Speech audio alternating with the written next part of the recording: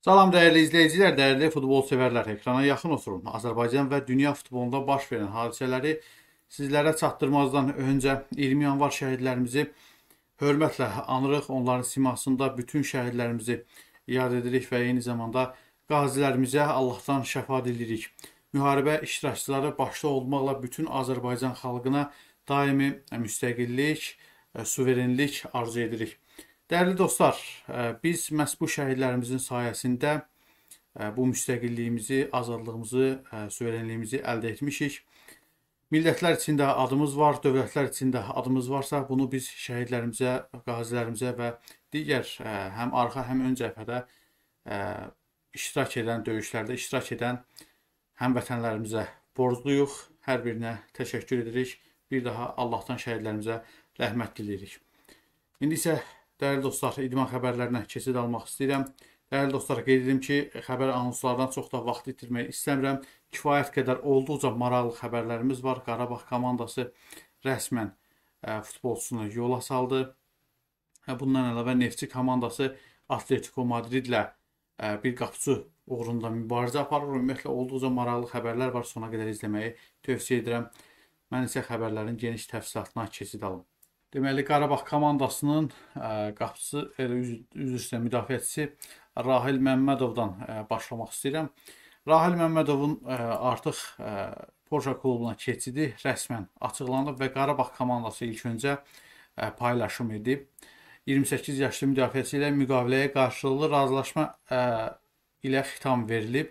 O yeni klubuna azad agent kimi qoşulub futbolçu karyerasını Porsche-nın LKS klubunda davam etdirəcək.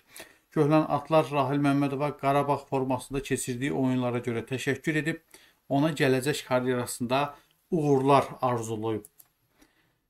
Artıq ə, e, dəyərli dostlar, ə, e, LKS klubu da Rahil Məmmədovun transferini rəsmən ictimaiyyətə təqdim edib. Dünən də məlumat vermişdik. E, bir neçə gündə öncə də məlumat vermişdik ki, ayın 20-sindən Rahil Məmmədov ictimaiyyətə təqdim olunacaq Porsche klubunda. Belə də oldu. 28 yaşlı müdafiəçimiz e, bir il yarımlıq müqavilə bağlayıb LKS klubu ilə 2025-ci ilin iyununa kimi məhz bu klubun şərəfini qoruyacaq. Qeyd edim ki, Rahil Məmmədov 2018-ci ildən Qarabağ komandasının formasını geyinirdi. Hal-hazırda Porsche-nın e, LKS klubu Porsche çempionatında sonuncu pillədə e, qərarlaşıb 10 xalla 18-ci yerdədir.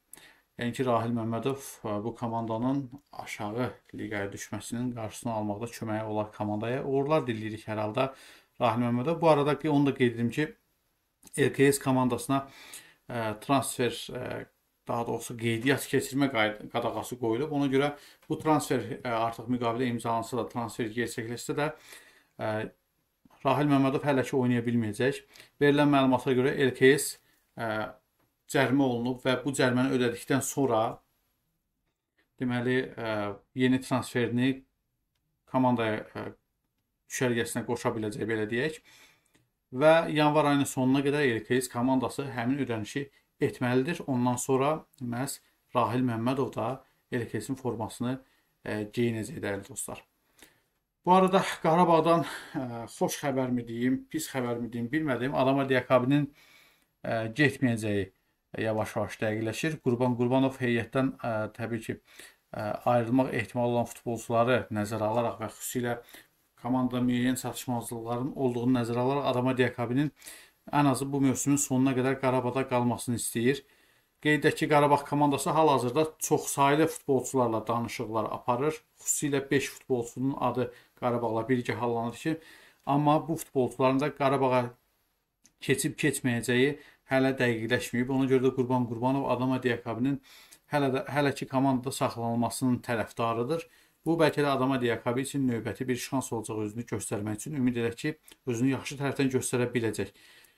Dəyərli dostlar, Qarabağın Avropa Liqasının play-off mərhələsindəki rəqibi Braqa komandasında növbəti deməli ayrılıq baş tutub. Bu dəfə Miguel Fale ilə yollarını ayrılıb ayrı Braqa komandası.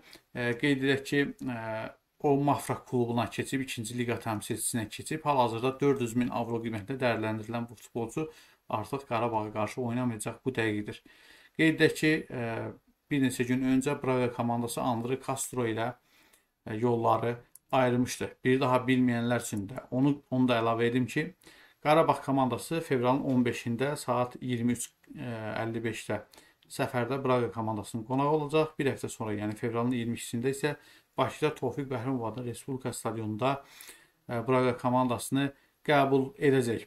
Bu arada e, Beynəlxalq Futbol Tarixi və Statistikaları Federasiyası növbəti reytinq siyahısını açıqlayıb. Klublarımız ə, e, bu siyahıda necə hərəkət ediblər bu barədə məlumat verim. Belə ki, Qarabağ komandası 11 pillə irəliləyərək 73-cü e, pilləyə yüksəlib. Qeyd edim ki, dünyanın 702 komandasının e, adı var bu siyahıda.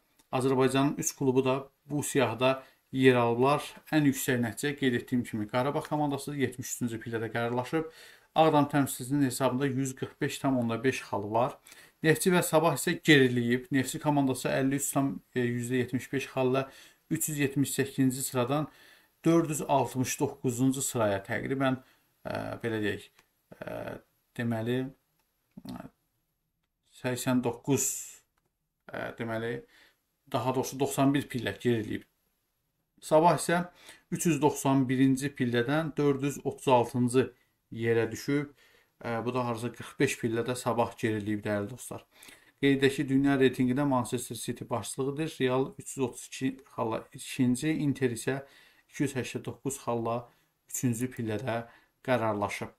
Uğurlar diləyək. Qarabağ komandası yenə də ə, e, yüksəldi reytinqdə və bu ə, e, başqa ə, e, siyahıya da təsir edib. Söhbət postsovet ölkələri arasındakı reytinq siyahısından söhbət gedir. Qarabağ komandası yenidən liderliyə yüksəlib. 11 pillə irəliləyən ə, Qarabağ komandası 70 73-cü pilləyə yüksəlib. 4 pillə geriləyən Şaxtyor komandası isə 72-ci pilləyə enib və beləliklə o Qarabağ komandasından sonra yer alıb siyahda. Birinci yer yenə də postsovet ölkələri arasında məhz Qarabağ komandasına məxsus olub. Dəyərli dostlar, sizin nəzərinizə çatdırmaq istəyirəm ki, Azərbaycan Premyer Liqasının 3-cü dövrəsi sabah start götürür hansı oyunlar baş tutacaq? İlk öncə bu barədə məlumat verim sizə. Belə ki, Sabah Neftçi oyunu ilə ə, deməli start veriləcək bu tura. Daha sonra Səbayi Zirə, Kəpəz Turan Tovuz, Qəbələ Sumqayıt və Qarabağ Araz Naxçıvan oyunları keçiriləcək ki, qeyd edim ki, Qarabağ Araz Naxçıvan görüşü 23-də baş tutacaq. Eyni zamanda ayın 23-də Qəbələ Sumqayıt görüşündə baş tutacaq. Gözlənilir inşallah. Sabah və Zirə, Kəpəz və Turan Tovuz görüşləri isə ayın 22-sində baş tutacaq. Bu arada Neftçi komandası sabahla görüşə itkilərlə çıxacaq. 3 itkidə itkinin olduğu bildirilir. Neftçinin düşərgəsində ümumiyyətlə Neftçidən ayrılan futbolçular da oldu. Bildiyiniz kimi Turan Tovuza keçdi bəzi futbolçular.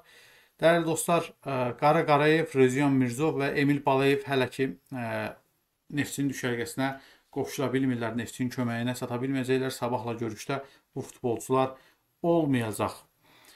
Siz nə düşünürsünüz? Sabah yoxsa Neftçi bu dəfə hansı komanda qalib gələcək? Sonuncu dəfə səhv eləmirəmsə, Sabah komandası 1-0 hesabı ilə qalib gəlmişdi. Dəyərli dostlar, Neftçi komandası e, bir möhtəşəm transfer reallaşdırmaq istəyir. Yəqin ki, bu transfer reallaşsa Azərbaycanda ən yaxşı transferlərdən biri olar.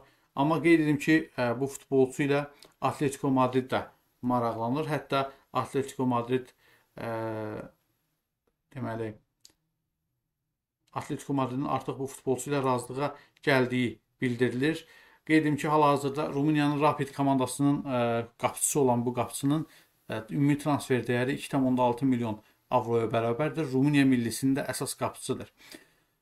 Hal-hazırda Rapiddə çıxış edən bu futbolçunun müqavilə şərtində belə bir bənd var ki, ə, e, deməli, ə, e, əgər hər hansı bir klub ə, e, bu futbolçunu transfer etmək istəyirsə, 800 min avro sərbəst qalma bonusunu ödəyib ə, bu futbolçunu öz düşərgəsinə qoşa bilər. Söhbət Haritio Moldavandan gedir.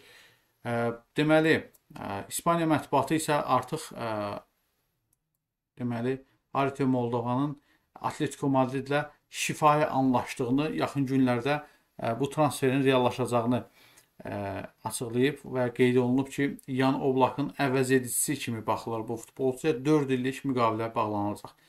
Neftçi komandası da bu futbolçunun transferində israrlıdır. Eyni zamanda İspaniyanın digər təmsilçisi Betis komandası da bu futbolçunu qapıçını transfer etmək istəyir. Mənə də maraqlıdır. Neftçi komandasının düşərgəsində kifayət qədər qapıçılar var. İndi zədəlidirlər, bəziləri zədələnmişlər. Bilirsiniz, Zenitlə görüşlər, Rusiya komandalarında görüşlərdə zədələnmişlər yoldaşlıq görüşlərində. İndi hər halda özlərini bərpa edəcəklər və yenidən sıralara qoşulacaqlar. Yəni 6-7 qapıçı yığmağın nə mənası var, başa düşmürəm. Hər halda Neftçi komandasının bu qapıçı ilə maraqlandığı bildirilir.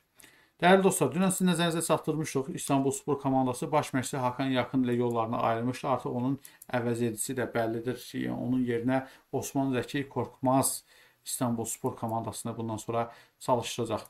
Fənərbağça komandası isə öz futbolçusunu olduqca baha qiymətə ə, sata bilər. Tottenham komandası bu futbolçu üçün 35 milyon avro təzminat ödəməyə hazırdır. Söhbət Sebastian Şamanskidən gedir. Hal-hazırda 20 milyon avro qiymətində dəyərləndirilən futbolçu Tottenhamin diqqətini özünə çəkməyi bacarıb. Yaxın günlərdə Tottenhama transferi olunacağı gözlənilir. Dəyərli dostlar, deməli Global Soccer mükafatı təqdim olunub. İlin ən yaxşı məşqçisi yenə də bu mükafat üzrə də məhz Pep Guardiola seçilib. Erling Haaland isə ən yaxşı futbolçu kateqoriyasında birinci olub. Cristiano Ronaldo isə bu ə, mükafatlandırma mərasimində 3 mükafatı birdən əldə etməyi bacarıb. Hansı mükafatlardan söhbət gedir? Qoy sizin nəzərinizə bunu çatdırım. Ə, deməli, Cristiano Ronaldo 2023-cü ilin ən yaxşı bombardiri kimi Diego Maradona mükafatına, ə, yaxın şərqdə ilin ən yaxşı oyunçusu və azarkeşlərin versiyasına görə ilin ən yaxşı oyunçusu ə, deməli mükafatlarını əldə edib 3 mükafatla ə, belə deyək bu tədbirdə iştirak edib. Növbəti xəbərə dərhal keçid alaq elə Ronaldodan söhbət düşmüşkən Ronaldo Çempionlar Liqası üçün favoritlərini açıqlayıb. Manchester City, Real Madrid və Bavariya komandasının bu il Çempionlar Liqasının qalibi üçündən birinin deməli Çempionlar Liqasının qalibi olacağını düşünüb. Son çempion Çempionlar Liqasının qalibi e, Manchester City Interi məğlub edib. Ötən il çempion olmuşdu. Elə Interdən söhbət düşmüşkən Inter İtaliya Super Kubokunda finala yüksəlib. Qeyd edim ki, ötən gün Napoli komandası Fiorentinanı 3-0 hesabı ilə məğlub edib finala yüksəlmişdi. Inter isə Lazio-nu 3-0 hesabı ilə məğlub edib finala yüksəlib və finalda Inter-Napoli qarşılaşmasını görəcəyik. Sizcə İtaliya Superkubokunun qalibi hansı komanda olacaq? Inter yoxsa Napoli? Bu barədə fikirlərinizi mütləq şərhlər bölümündə yazın. Bu bizim sizə çatdıracağımız sonuncu xəbərdir. Düşünürəm ki, sizlər üçün də maraqlı xəbərlər oldu. Videonu bəyənməyi, şərhlər bölümündə fikirlərinizi yazmağı unutmayın. Bir daha Allahdan şəhidlərimizə rəhmət diləyirik. Növbəti videoda görüşmək ümidi ilə sizlərlə sağollaşırıq. Hələlik.